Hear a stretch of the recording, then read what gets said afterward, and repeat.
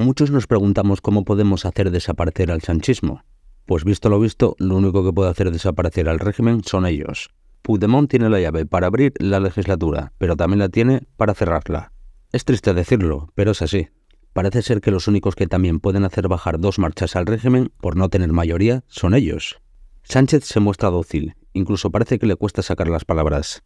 Desde el día siguiente del pasado 23 de julio, el régimen siempre defendía que los resultados de las urnas quería que gobernara el PSOE.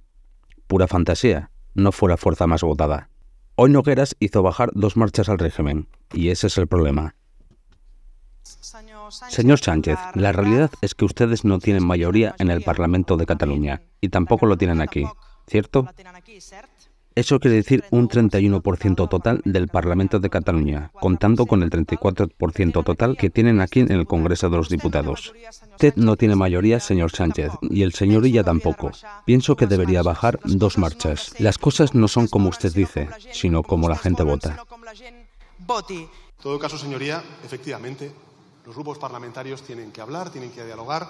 Creo que, que el mandato, al menos esa es mi opinión, a lo mejor usted tiene otra, pero el mandato de las urnas el pasado 12 de mayo es pónganse ustedes de acuerdo, dedíquense a lo importante, que es el refuerzo de los servicios públicos, a resolver los problemas que tienen los catalanes y catalanas y, desde luego, estoy convencido de que, humildemente, esa es mi opinión, la mejor persona para liderarlo es Salvador Illa.